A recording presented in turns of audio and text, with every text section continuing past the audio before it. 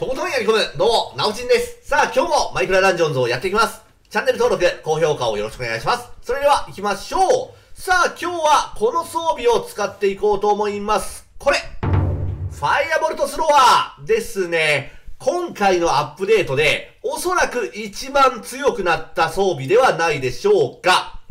爆発系のボウガンが超強化されてます。で、その中で、ファイアボルトスロワーは一番よろしくないです。一番弱い。なので使わないようにしてください。使うのであれば、爆縮、もしくはノーマルの爆発のボウガン。その二つ、どちらかがいいですね。俺はとりあえずこれがあったので、えー、使ってみようと思います。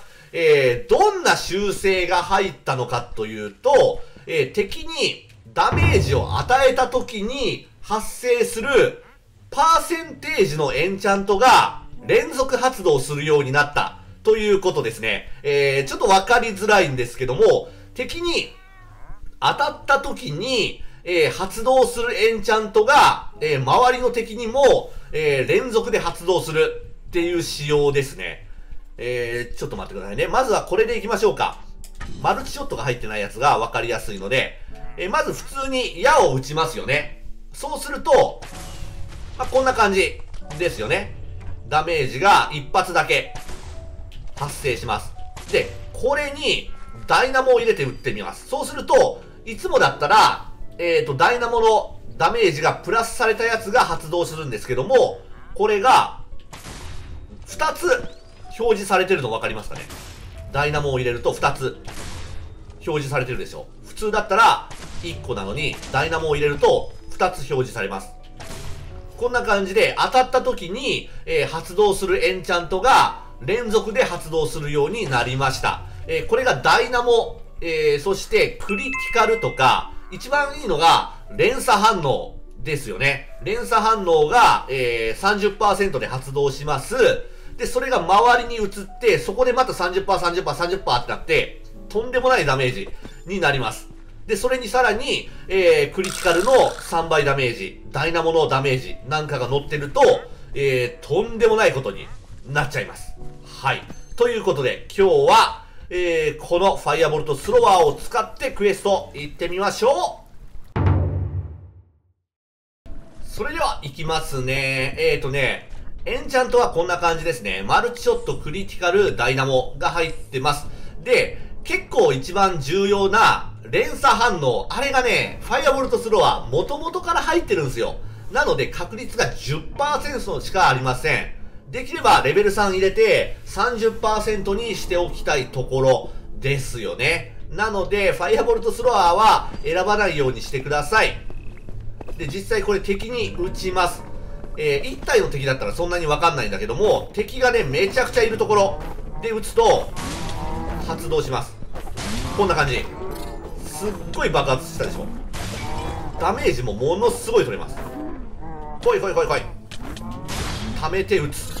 そんな感じですね。で、もちろん、パワーポーションで、えー、ダメージが倍になりますので、破壊力抜群になります。お、危ないえーとね、エンチャントじゃない、アーティファクトは、えーと、エリクサーのカバン。これはね、絶対入れた方がいいですね。エリクサーのカバンは、マジでおすすめです。入れてください。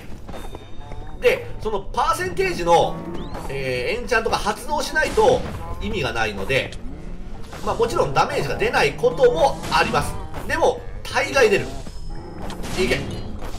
で、その発動率を上げ、おーすごい 発動率を上げるために、重要なのが、えっ、とね、まあ、連鎖反応と、あとあれだね、えー、マルチショット。うん。その2つが結構重要ですので、マルチショットと、えー、連鎖反応は、極力入れた方がいいです。まあ、もしくは、えー、ボーナスショット、すごいな。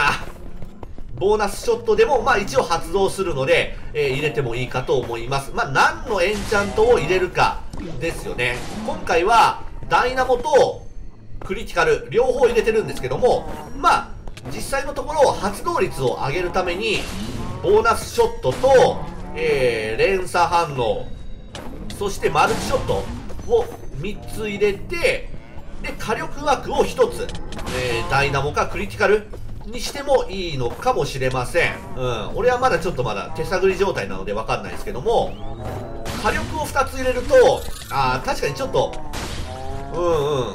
ダメージが出すぎてそんなにいらないのかもしれないですね。まあ、エンチャントのやつはちょっと倒しきれてはないんだけども、うん。発動率を上げた方が、えー、実際のところ使いやすいのかもしれませんね。で、この爆発系のボウガンが、とにかく矢が少ないんですよ。段数がものすごい少ない。なので、うん、矢の管理っていうのが結構重要ですね。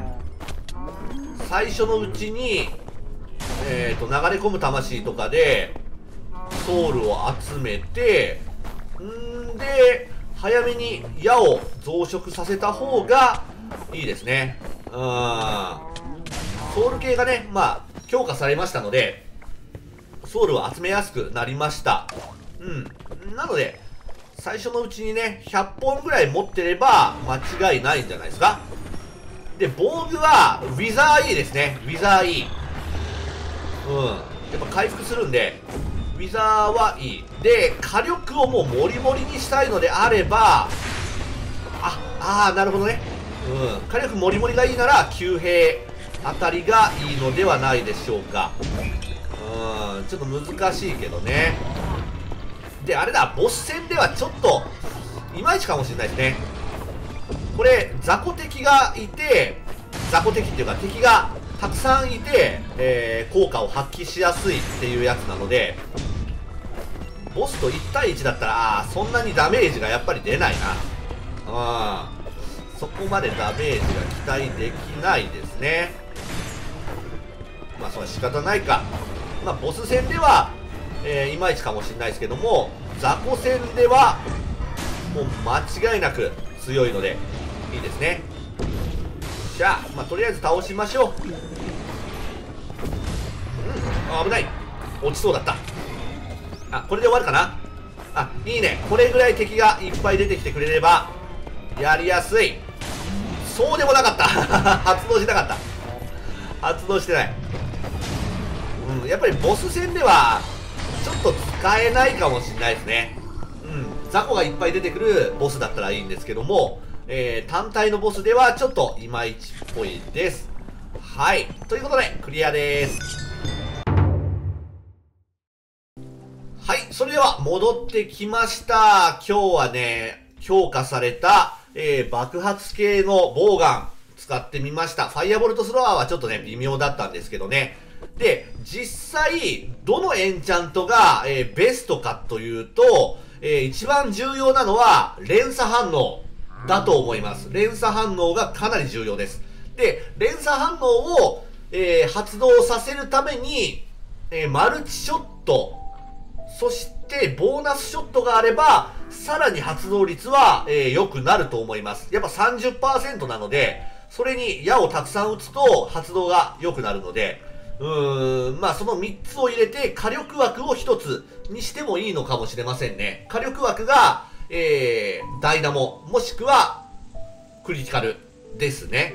クリティカルも、うん、発動がそんなにパーセンテージ良くないので、確実に取るならダイナモの方がいいのかな。でも、ダイナモよりもクリティカルの方がダメージはあります。うん、まあちょっと悩むところですね。